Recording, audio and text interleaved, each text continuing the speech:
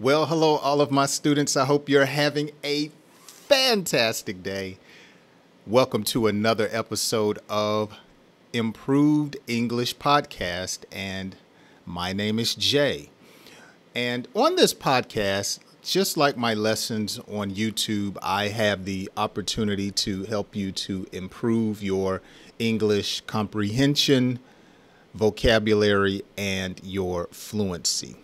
Now, one difference between the podcast and my lessons on YouTube is I try to take my time. These uh, episodes of the podcast are a little bit longer, and I talk a little bit more about various topics. So I hope you enjoyed today's episode. I can't remember if this is episode seven or eight, but you should see it on the title of the thumbnail. So we're going to have some fun on today. At least I am.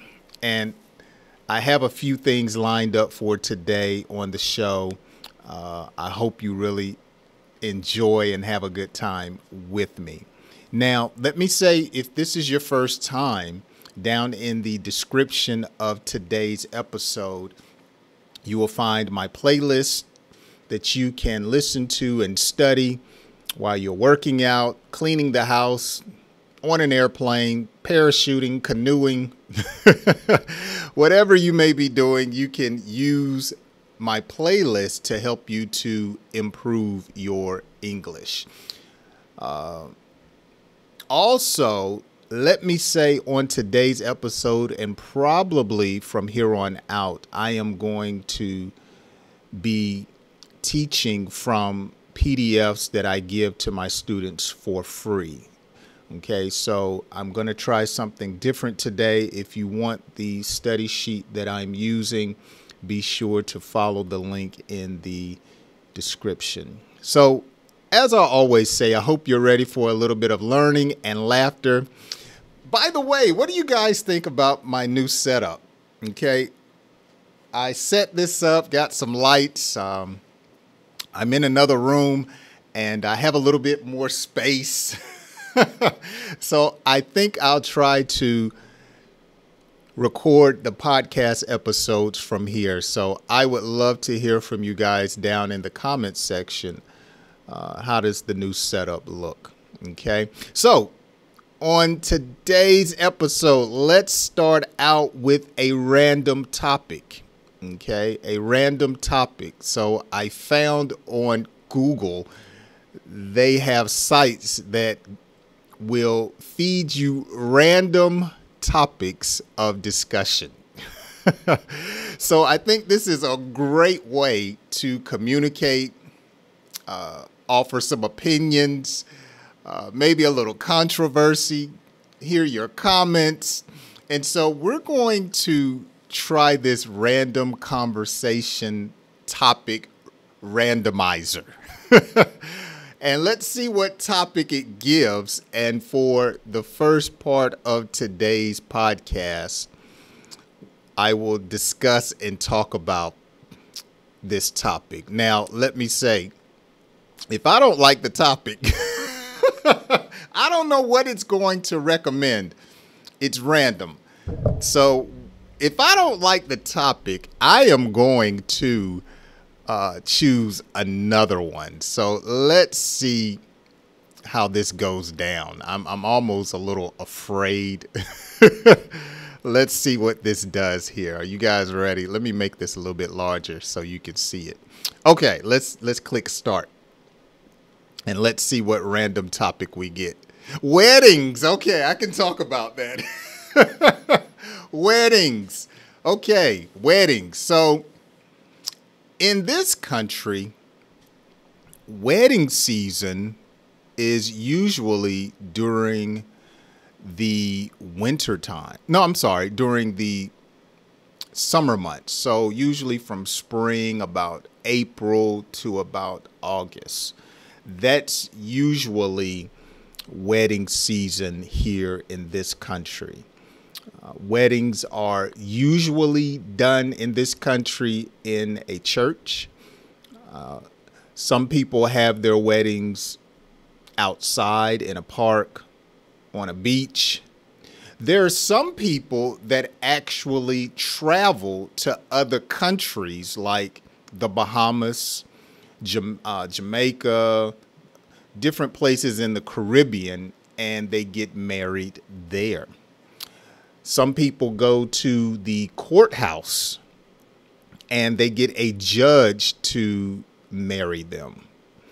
Some people go to Las Vegas and they get married at a chapel in Las Vegas. Okay. Uh, some people don't get married. Some people live together and they never get married. They stay together for years, decades, and they never formally get married. Uh, often, a wedding, people dress up with designated colors.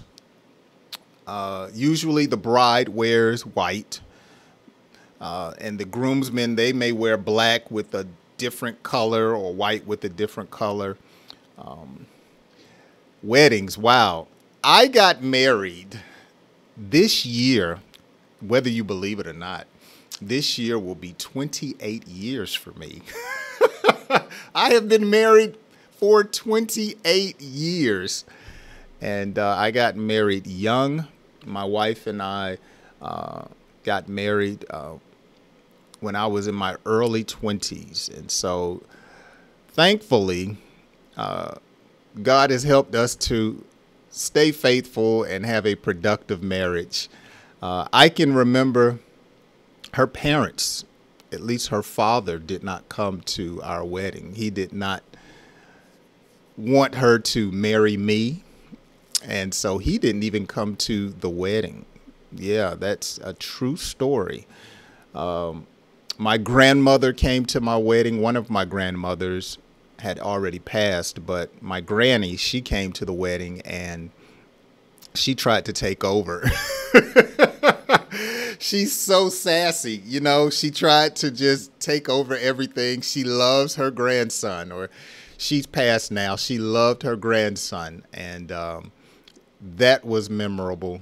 Uh, but our wedding was very, very fun. We had a great time. Uh, we went, we drove to um, Charleston, South Carolina for our honeymoon. And uh, we had a great time. Uh, but weddings, wow. Are you married? Did you have a big wedding? Some people have small weddings. Um, one thing about weddings here in this country, they have, and I'm pretty sure it's everywhere, they have receptions where you have to spend a lot of money to feed the people who come to your wedding. if I could do it all over again, I would probably suggest having a smaller wedding and putting that money aside, maybe into savings or for a home, because it's a lot of money depending on what you want to do for your wedding. I knew a young girl who saved her money as a young adult specifically for her wedding and when she got married she saved $26,000 all to go towards her marriage, her wedding. Wow, that's a lot of money. in my mind for a wedding. Now I know you have people that may spend way more than that, but let me know. Uh, did you have a big wedding, a small wedding? Did you not have a wedding? I had. Me and my wife have some friends whose parents they got married young and they never had a wedding. And so I think they have been married probably 40 something years. They're both in their late 60s, maybe 70s. And I believe it was last year, their kids, who are friends of ours, of course, they're adults, they gave their parents their first wedding when they were in their 60s or 70s. Yeah, they didn't have one. And so they dressed up. She had the wedding gown on. He had the tuxedo. They were looking all young and nice. And everyone at the reception or the party was dressed up. It was very, very honorable and nice. And uh, some people don't have a wedding for whatever reason. And they may get married at a later time, or they may never have that experience it's just like some people never went to prom when they were in high school. So, weddings are a big, big deal here in this country. Let me know how weddings are done in your country. Are there still countries where marriages and weddings are prearranged, where the parents select who their child is going to marry? Oh, wow let me know does that still take place in in your country? So i'm going to probably do that. I think that is so fun to pick a random topic and and then talk about it. Let, let me just see what it was it's going to pick next. Famous people. Oh okay. Famous people. I could talk about famous people. I've met some famous people. I've met chris tucker before uh, back when I was younger, I used to do photography and I got into celebrity photography. And so I met Chris Tucker. I have met Tupac Shakur. Uh, I have met um, a number of different artists over the years, celebrity artists. I bumped into Al Sharpton, who is a political figure here in this country. I met him at a um, there was a conference going on that I was attending, and he was at a separate event, and I saw him, and he did not look like what he looks like on television. Have you ever bumped into a celebrity and you thought they were going to be one way, but they were some way another way? Um, he was short. I've met or I've seen and been in the company of uh, Don Cheadle. I saw him. He's an actor. Uh, he was on a flight that I was on, and he was not very friendly. Probably didn't want to talk to anyone, but I, I was in his company.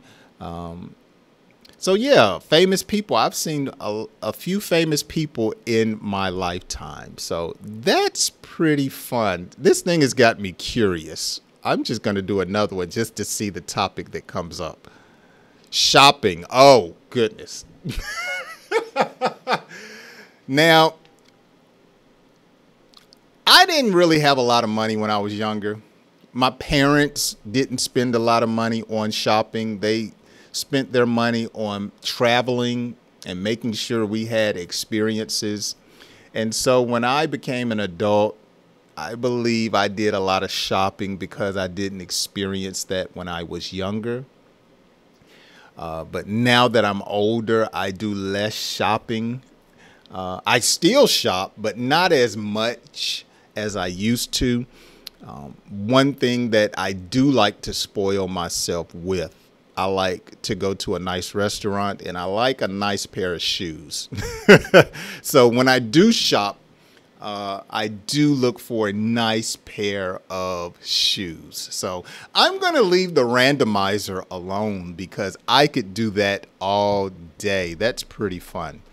Okay, so let's get ready to dive into today's episode. Let me minimize this and let's get into today's episode. Okay, now what I'm going to do is I have a story that we're going to read and go through. But before we do, let's go over some definitions. So this is going to be the story. I, am calling it Ana's Business. Okay. And before we read the story, let's go through some of the definitions. Now, if you want to have this study guide, make sure you go down into the description and follow the link, and it's completely free.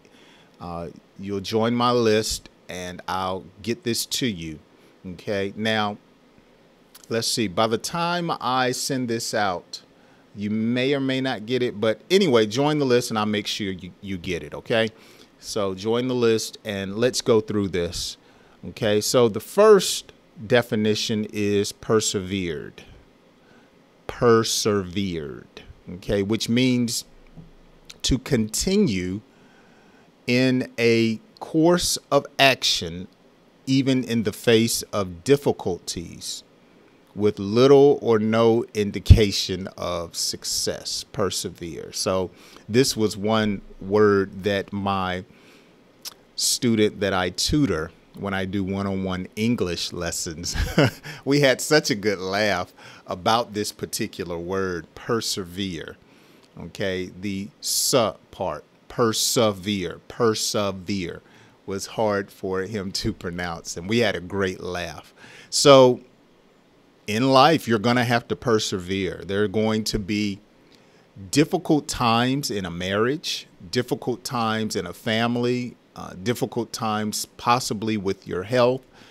Uh, just life is full of adversity, but it's important for us to persevere or to have courage when we're facing obstacles or hardships. Okay? daunting, daunting, intimidating, or discouraging through sheer size, complexity, or difficulties. Something that is daunting is imitating or discouraging because of its size, complexity, or difficulty. So you could actually say learning English is a daunting task.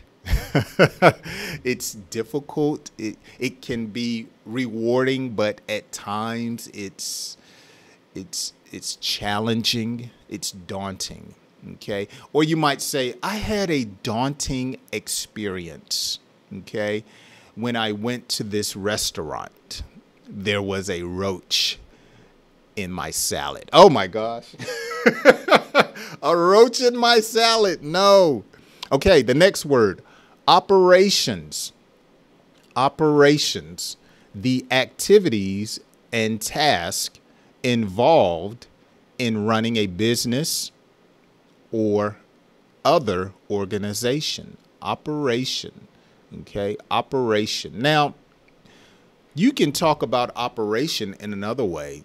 If a person is having surgery, you might say she had a operation last Tuesday. Okay. But operation here can talk about the way a business runs. In order for my business to run successfully, you might say, we have three primary operations that we must do every day okay, operations. Okay. Another word that I want you to learn and become familiar with is competitive. Having a strong desire to be more successful than others, competitive. Okay. Now, I believe your biggest competition should be yourself, not anyone else. Don't compete with other people. I believe and what I try to do is compete with myself. I try to be better today than I was yesterday. Okay. Uh, sometimes when you start competing with other people, you open the door for jealousy and envy because some people may be better than you or some people may have more than you. And so I don't see the need to compete with other people because you know, I may be better or you may be better. And so it's no need to compete. Now, when there's a sport involved, then competition is good. So the two teams were very competitive at the game, you might say. Okay? Let's look at a few more definitions. Let's see number five innovative. introducing a new idea, creative in thinking, innovative. So you might say the iPhone is a very innovative piece of technology, okay? Or the motorized car was a new innovation to the market. Okay. Or some people say AI is a bad innovation. How do you feel about AI? Do you use AI? I think, like anything, it can be used for good or bad. Okay. The internet can be used for good or bad. Okay. People can be good or bad. And so, AI, this new innovation, I think it can be used for good. Uh, but of course, you're going to have some people that misuse it. What do you think about AI? Oftentimes, when I think about AI technology, I think about the movie with Will Smith. what was the name of that? AI. I think that was the name of the movie. I can't remember, but uh, where they had all the robots taking over. Oh my goodness. I hope it doesn't come to that. Or the movie Terminator with Arnold Schwarzenegger. You remember that movie? Okay, loyal. No, no, no. Number six, recognition. Recognition. Acknowledgement of someone's existence or legality or validity okay? Recognition. It's good for a parent to give recognition to their child when they do well, okay? So you might say the supervisor refused to give me recognition for my hard work. Recognition, okay? Loyal, another vocabulary word, loyal. Giving or showing firm and constant support or allegiance to a person or institution. Loyal.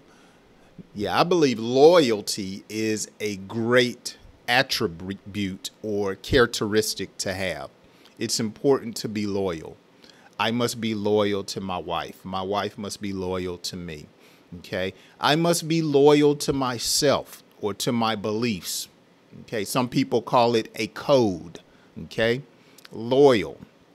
I'm loyal at saving money, you might say. Or you could observe someone who keeps their car clean all the time, and you can say they are loyal to being a good steward of their car. Okay. Some people like dogs because they're loyal. Okay. And you know how I feel about cats. Are you a cat person or a dog person? Cats, to me, for some reason, are just not loyal. They come here and they just won't come here. But a dog, come here, and a dog will come here. So I don't know. I, I've never tried to train a cat, but I work with cats here in the neighborhood that come by. I feed them, and they are not loyal.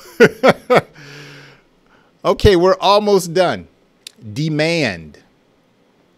Demand the desire of consumers on for a particular service or commodity demand. Okay, so the desire for something.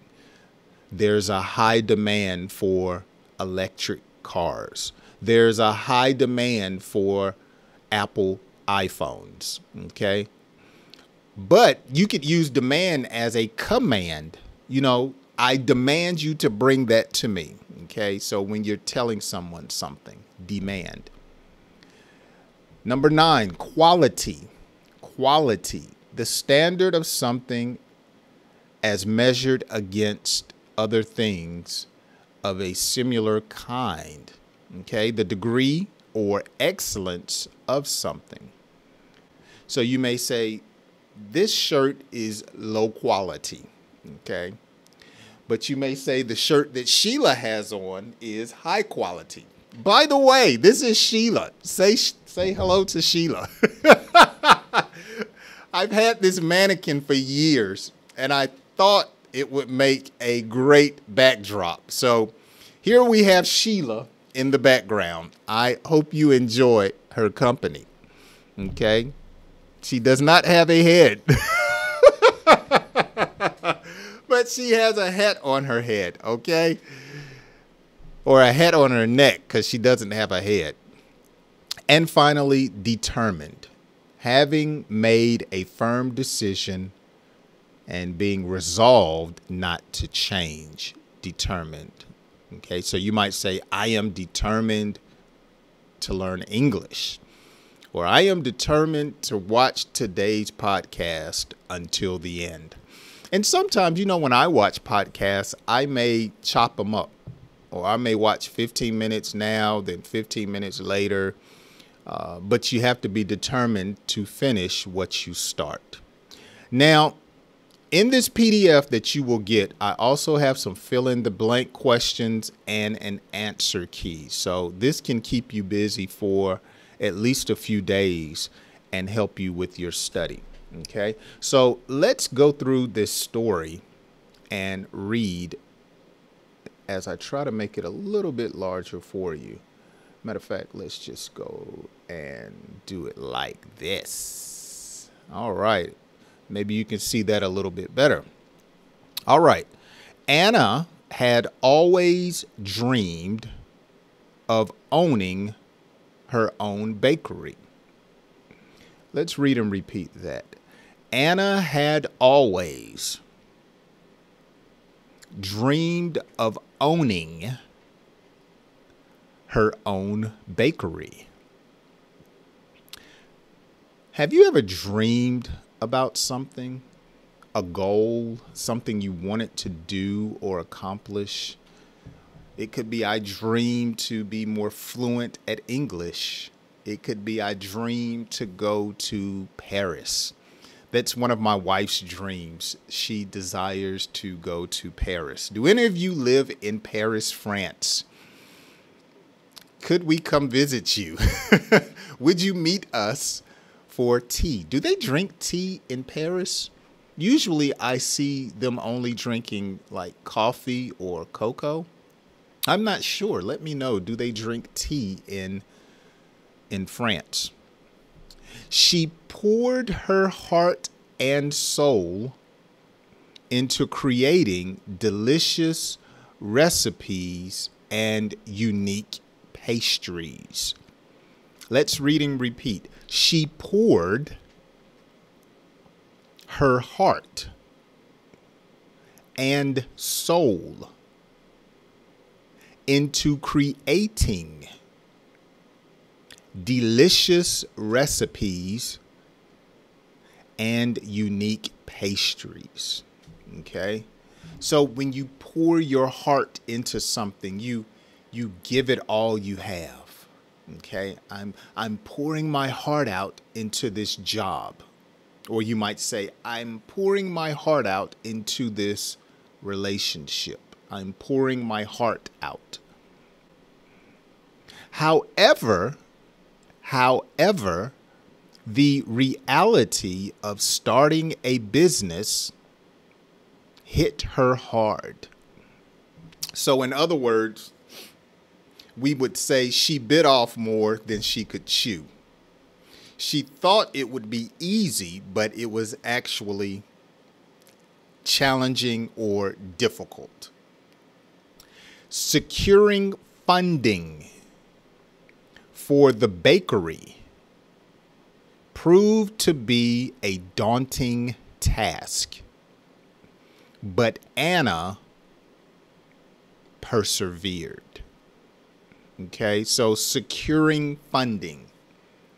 To secure funding means she was looking to borrow money to help her start her business, securing funding. Okay.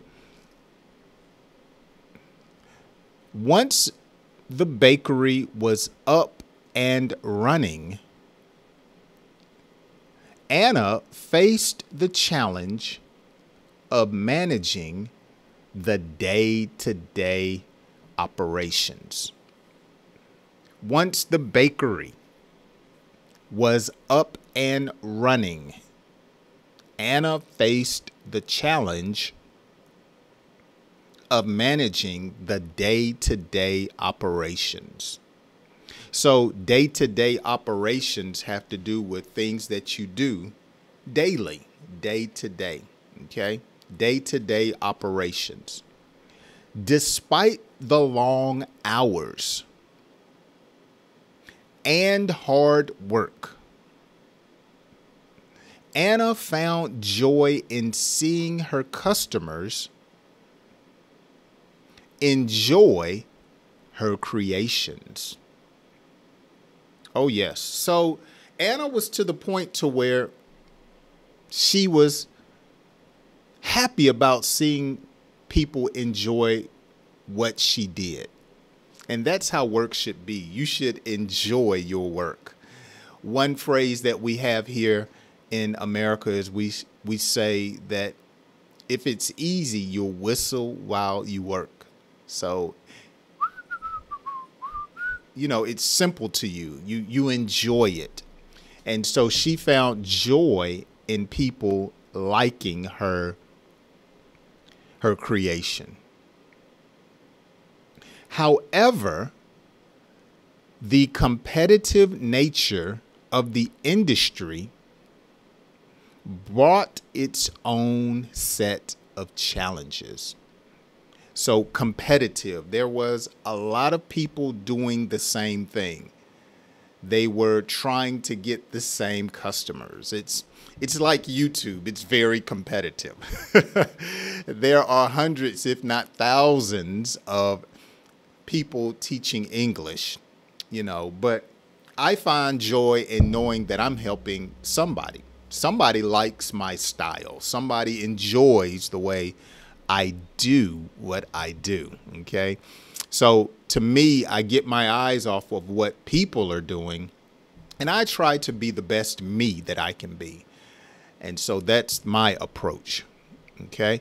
Ana had constantly, or Ana had to constantly innovate and adapt to stay ahead. Building a loyal customer base was tough, but Ana's dedication and passion for baking shone through. That's good. Yes, building a loyal customer base. So, here on YouTube, when you follow me, when you communicate, I'm doing the same thing that Ana is doing. I'm building a community, a a, a, a, a group of people that enjoy communicating and learning English. And man, let me tell you something, it is tough. it is rough, but I enjoy helping others. I enjoy uh, putting these lessons together. I enjoy videography. I enjoy it. So, whether I help 10 people or a 1,000 people. It's all good. It's all good. Okay, we're winding up the story. Slowly, the bakery gained recognition, or people began to recognize what Ana was doing. They said, hey, she's got some good food. And Ana's hard work began to pay off. As the business grew, Ana faced the pressure of maintaining quality while meeting demand. Oh, I know what that feels like. So you start helping people and people start wanting you to do this and do that. Jay, can we have some more free stuff? You know, people have a demand on what you're producing, okay? So yes, that's that's a part of business. Finally, through it all, Ana remained determined, driven by her love for baking and the dream of a successful bakery. Awesome. Now, let's read through this story at a faster pace without stopping. Ana had always dreamed of owning her own business. She poured her heart and soul into creating delicious recipes and unique pastries. However, the reality of starting a business hit her hard. Securing funding for the bakery proved to be a daunting task, but Ana persevered. Once the bakery was up and running, Ana faced the challenge of managing the day to day operations. Despite the long hours and hard work, Hannah found joy in seeing her customers enjoy her creations. However, the competitive nature of the industry brought its own set of challenges. Hannah had to constantly innovate and adapt to stay ahead.